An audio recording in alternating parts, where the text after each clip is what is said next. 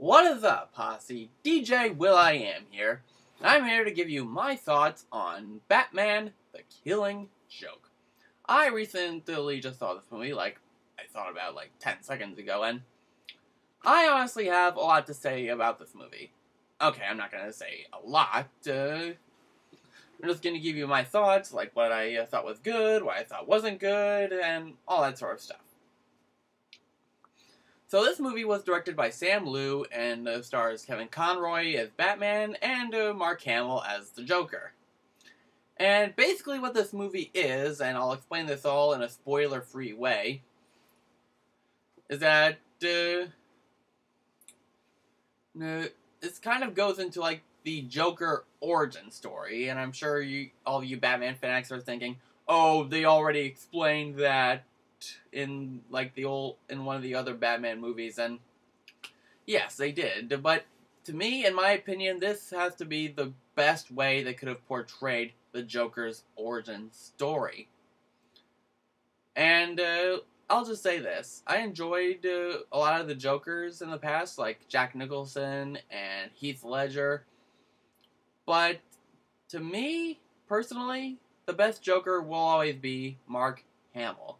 I mean, in this uh, version of Batman, or I mean, in this version of the Joker, you get to see a totally different side of him. Okay, yes, on the Dark Knight, uh, he goes on a killing rampage and he's just all cuckoo, cuckoo. But holy crap, this guy is just insane. And I know the Joker is always insane, but let me try to rephrase it in other ways. This guy is bad shit crazy. I mean, he went from robbing banks to committing murders. All this just to get Batman's attention and to kill him. So I will, I probably will do a spoiler room sometime soon, maybe. And I do plan on seeing Suicide Squad uh, soon, and I'll uh, probably do a comparison between uh, this Joker and the Killing Joke, and the Joker and the Suicide Squad. So, let's get to the stuff I liked. First off, the animation. It is as absolutely beautiful for an R-rated uh, movie. It has to be, in my opinion, uh, some of the best animation I have seen uh, in a comic book movie. Not a live-action one, but one in an animated comic book movie.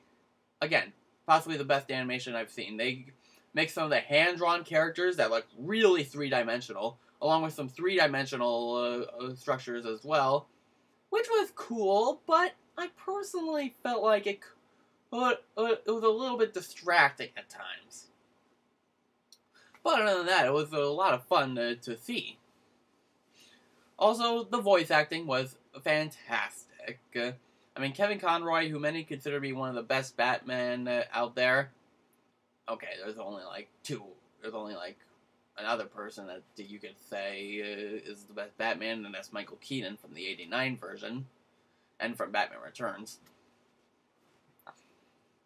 Because let's just face it, Val Kilmer and George Clooney just don't cut it. Christian Bale just does that funny voice that everybody just can't help but make fun of.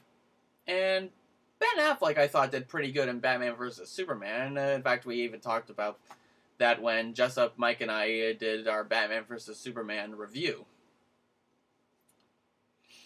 And Mark Hamill as the Joker. Now, this is actually kind of a funny story because uh, my uh, mom actually had no idea, and she's a big superhero fan like I am, had no idea that Mark Hamill ever did the voice of the Joker. And I didn't know either until I started watching some of the animated uh, Batman TV series. And of course, uh, Batman Mask of the Phantasm. And if you haven't seen it, go watch it. It is awesome. And to be honest, for an R-rated movie, it, it actually it actually does live up to its uh, expectations. I mean, there's some pretty gruesome stuff in there. Like there's blood, there's a lot of language. Hell, there's even a, a sex scene that they censor out. Well, they almost censor out. Okay, yes, they uh, pretty much did censor it, it out. They like pan uh, up uh, up like this, uh, and then they uh, don't show any of it whatsoever, and thank God! Because I don't even want to uh, go into explain it, even though I will go into a spoiler room, but not quite yet. Um, and let's see, we also have uh, Tara Strong as Batgirl, and I have to say that she does uh, very well too, living up to her performance. And we have Ray Wise as Commissioner Gordon, and he does very well. And we have a bunch of other uh, voice actors uh, as well all in this. Okay, and we have Nolan North in this movie too. Yeah, but he was a very minor character. Alright, so I we talked about stuff that I did like. Let's talk about the stuff that I don't really like. Well, for example, I think it, I thought personally thought it was too short. Like, uh, um, everyone has been talking about this. The 30 minute prologue. 30 freaking prologue. Uh, 30 minute freaking prologue. And it has nothing to do with the story whatsoever. Okay, it kind of does, but, uh, uh,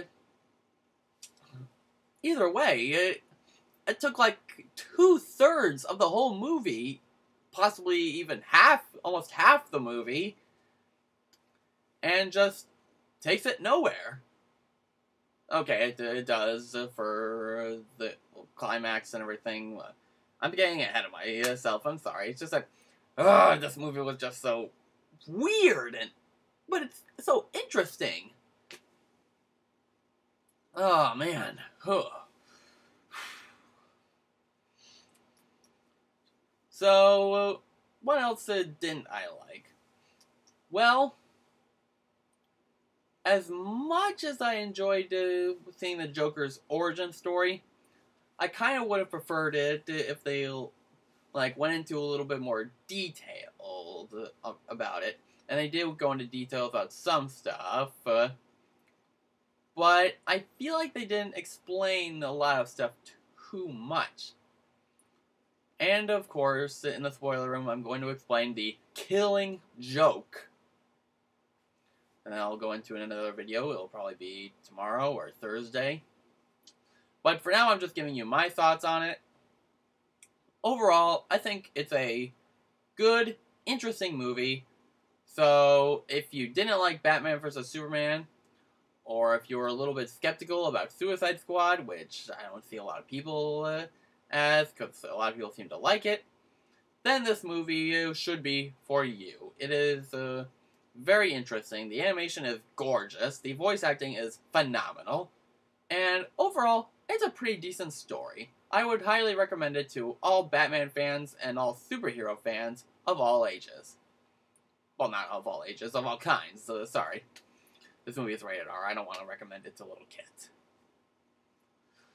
So, that about does it for this uh, video, and until next time, see you later, Posse.